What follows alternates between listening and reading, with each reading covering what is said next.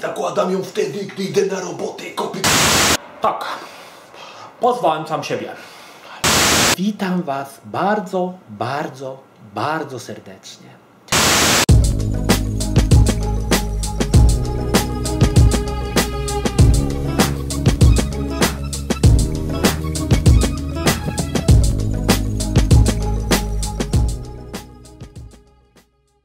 Gier o Wietnamie nigdy za wiele. Powstało niezbyt dużo dobrych tytułów traktujących o tym dość specyficznym konflikcie. Powstała także gra Vietnam Purple Haze. W wersji na PC była to dość udana produkcja, powiedzmy, że takie 7 na 10.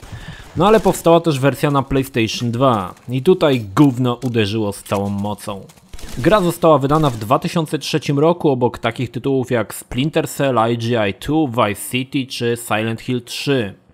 Z wcześniejszych tytułów traktujących o Wietnamie, a będących bardzo dobrymi grami, warto tutaj wspomnieć starenki Seal Team czy Lost Patrol. Swoją drogą to pierwsza gra na Amigę, którą zobaczyłem na żywo. Relacja z tej wiekopomnej chwili wyglądała mniej więcej tak. Ponieważ Zagrajmy w Krapa nie tylko bawi, ale także uczy, kurwa mać, wyjaśnienie czym jest tytułowe Purple Haze. Jest to nazwa piosenki Jimiego Hendrixa, a zarazem odmiana marihuanen. Teraz jak chcesz zabłysnąć w oczach lokalnego dealera, to masz dobry temat. Tyle słowem wprowadzenia. Gra wita nas całkiem przyjemnym intrem zrealizowanym z archiwalnych zdjęć, m.in. Elvisa, Wietnamu, Beatlesów, hippiesów itd., itd. Całkiem przyjemna produkcja, która wprowadziła mnie w dobry nastrój i zacząłem rozmyślać. Czy ta gra faktycznie jest chujowa? A co jeśli się mylę? Ostatnio byłem w warzywniaku pograć w grę wideo i muszę przyznać, że nie do końca mi się spodobała, chociaż ja jestem taki, że, że wiele rzeczy mi się podoba. Cześć, witam Was bardzo serdecznie w kolejnym otwieraniu paczek. To już 687 paczka. Jak wiecie, do tej pory no, ze skrzynek, które przytachałem do domu, wypadły tylko ziemniaki, ale dzisiaj mam nadzieję, że wydropimy chociaż jakiegoś może buraczka, może nawet kalafior się trafi. Zobaczymy, także otwieramy. Kolejna paczka. Właściwa gra rozpoczyna się filmikiem, na którym armia bliżej nieokreślonych cyborgów geruje w dżungli. Sama gra wydaje się nie być za bardzo zła. Dżungla jak dżungla, no pierdolili jak umieli, a że nie umieli za bardzo, no to wyszło jak wyszło, ale da się przełknąć. Dobrze wypadła woda, zrobiona dość prymitywnym sposobem, ale wygląda wyjątkowo dobrze. W grze mamy własny oddział, któremu możemy wydawać proste komendy. I to jedna z wielu, wielu ciekawych rzeczy, które chciano w grze umieścić, ale kurwa coś nie pykło. Każda osoba z oddziału ma inne zadanie. Jest medyk, telegrafista, czujka i tak dalej, i tak dalej. Pomysł spoko przyznacie. To teraz co poszło mega chujowo. Ogólnie gra zaleca, aby na przodzie zawsze szła czujka, więc musisz popierdalać z tyłu. I ten pomysł jest logiczny. Tylko, że sztuczna inteligencja w tym gównie to kurwa była robiona chyba wedle wytycznych operatora betoniarki. Zanim czujka dojdzie do celu, jest duże prawdopodobieństwo, że ojebiesz komara na klawiaturze. W sumie mógłbyś zapierdalać do przodu jak ruski biegacz w Rio po wiatrze koksu, ale taki bieg szybko kończy się nadepnięciem platfusem na pułapkę i chuj bombki strzelił. Pułapki to kolejny fajny pomysł. Trzeba być czujnym i kombinować jak ksiądz w monitorowanym przedszkolu. Jeśli jednak miałbyś wypuszczać w każdej misji czujkę naprzód, długość gry by drastycznie wzrosła do kilkudziesięciu godzin. Kolejnym ziomem z naszego składu jest medyk, który ratuje nas nieskończoną ilość razy, jeśli zabraknie energii. Kolejny spoko pomysł, ale już z telegrafistą to dali dupy dokumentnie. Czasami trzeba zadzwonić do bazy, wtedy nasz hipek stoi w miejscu i rozmawia przez słuchawkę z bluetoothem z bazą. Czasami gadasz stojąc na szczerym polu, a wokół napierdalają w ciebie Wietnamczycy. A trzeba dodać, że nie możesz w tym momencie się ruszać, jakby słuchawka z bluetoothem paraliżowała ci giry. No chujnia. W pierwszej misji dochodzisz do wrogiego obozu. Nie pierdoląc się zbytnio w tańcu, kosisz Wietnamców bez litości. Chuj, że dwa metry obok śpi jego ziomek, który oczywiście kurwa nie słyszy strzałów, jęków i popuszczanych zwieraczy. Oni kurwa śpią dalej i chuj. W tymże momencie dochodzisz też do pojmanego kapitana. Gościu związany klęczy pod drzewem. Jednak co się okazuje? Wietnamczycy skrępowali go z pistoletem w ręku. No ja pierdolę. Jak goście popełniają takie błędy, to chyba niemożliwe by było, aby tą wojnę przegrać. Chyba, że Kolo to jakiś terminator i pistolet ma wrośnięty w łapsko. Dalej podkładasz C4, aby wyjebać jakąś skrzynkę. Widziałeś kiedyś jak wybucha C4?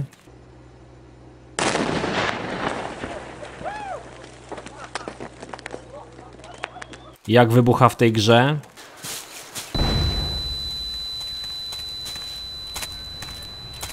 Jak to kiedyś słyszałem w niemieckim pornosie. Ale eksplozja! Po udanej misji przylatuje helikopter i zabiera cię do bazy. Pokazuje, no niestety marchewka, znaczy to nie jest źle, ale ta marchewka to jednak marchewka. E, Otworzę drugą, to już słuchajcie, mam nadzieję, że dobijemy do tysiąca, mam nadzieję, że przed tysiącem, przed tysiącem wydropimy tego buraka, bardzo mi zależy. No, otwieram drugą skrzynkę, niestety to też marchewka. Przepraszam. Cześć, witam Was w kolejnym Spróbuj się nie zaśmiać challenge. Oglądamy.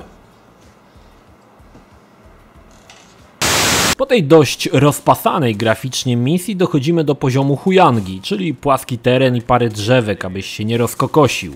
Aha, kurwa zapomniałem o jednym. Wiesz co się dzieje z Wietnamczykami po śmierci? Nie wiem jak wy, ale ja ze wstydu to chyba zapadłbym się pod ziemię. No kurwa correcto mundo. Hades się o ciebie upomniał, sukin synu. Gra w sumie jest dość prosta, ponieważ wrogowie cię nie widzą z pewnej odległości. Możesz napierdalać do nich ze snajperki, a Wietnamczyk jak nie zginie, to spanikuje i przebiegnie parę metrów i znów będzie stał jak kloc. No właśnie, i tutaj jest kolejny problem, którego się nie wyjaśni, dopóki ktoś sam w to nie zagra. Zjebane celowanie. Nie sposób trafić kogokolwiek. Gały są zaczułe i minimalne wychylenie powoduje, że celownik przeleci dalej. Wiecie, że musiałem korygować celowanie chodząc? No kurwa, absolutne chujstwo. Przepraszam. To jest, kochani, tak, że to nie jest tak, że ja wszystkiego nie lubię, bo ja bardzo dużo rzeczy lubię, ale tego, co nie lubię, to, to, to już tak raczej no, po prostu nie lubię. Ale gdyby się zdarzyło, że to, co nie lubię, kiedyś bym polubił, no to wtedy, wtedy musiałbym zmienić to i powiedzieć, że to, co nie lubię, no to już lubię. I, i, i to jest takie, to jest takie znamienne, że, że czasami to, co lubię, potem mogę już nie lubić. Ale odwrotnie, że to, co nie lubię, często mogę polubić, kochani. I to jest, to jest, to jest takie, takie, wiecie, no jeszcze. Całe szczęście nasze ziomy z ekipy to totalne skurwysyny. Potrafią zajebać i się nie pierdolą. Strzelają celnie i zabójczo. Choć czasami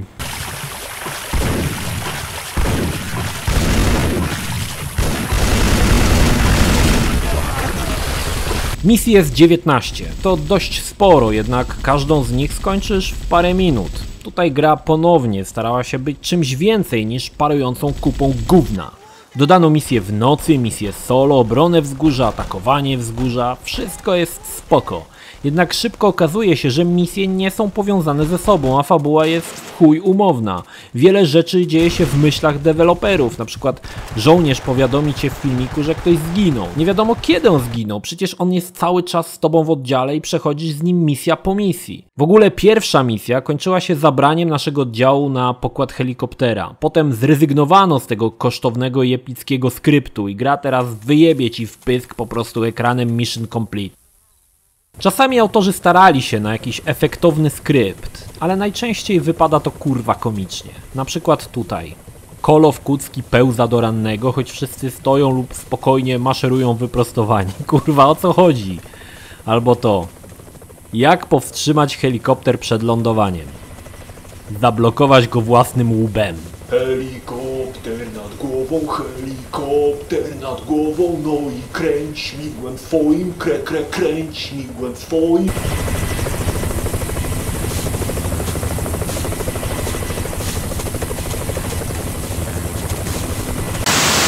Ziemniaki, one cały czas się pojawiają. To jest bardzo, bardzo niedobre. Właściwie tak jak ktoś, ktoś, kto chce kupić te tysiąc skrzynek od jakiegoś rolnika, no to niech się najlepiej zastanowi, bo zobaczcie, no, no słuchajcie, to jest niemożliwe. No ponad 600 skrzynek i same ziemniaki i marchewki, żadnego buraka czy kalafiorka, y, jakieś może y, pietruszka by się przydała, albo chociaż jakiś może um, patison, marzyłby mi się e, patison taki już wiecie jakby wydropił, to by było super, on warty jest z jakieś tam y, 100 pesos, tak.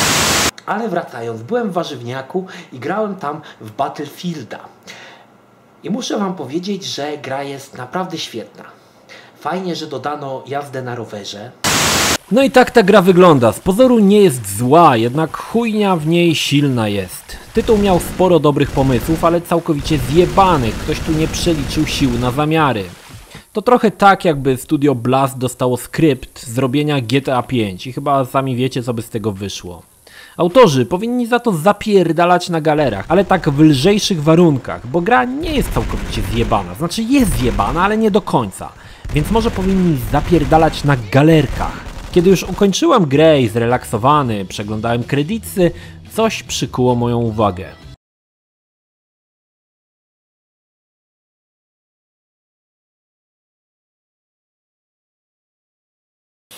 Co kurwa? John Schwab? Tu gra John Schwab? Oprócz niego się nie śmieje. Widocznie nic śmiesznego nie powiedział i chyba miało to być śmieszne, ale śmieszne nie było wcale. Faktów. Głównego bohatera odtwarza gość. Za Johna Schwaba to powinniście jednak zapierdalać na galerze.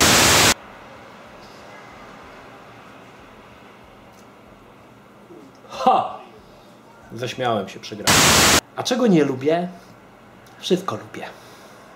W Battlefieldzie wszystko lubię. Nawet to, co nie lubię, to też to lubię. Sekundą otwierałem y, skrzynkę i mignął mi burak. Myślałem, że to burak, ale okazało się, że to zgniły ziemniak. No i niestety, y, słuchajcie, to jest niemożliwe, że dwa razy, dwa razy mi przemknął burak i to się okazało, że to nie był burak, tylko mm, zgniły ziemniak, także próbujemy dalej, próbujemy dalej otwierać, może jakiś brokułek, może jakiś pomidorek, może jakaś pietruszka, może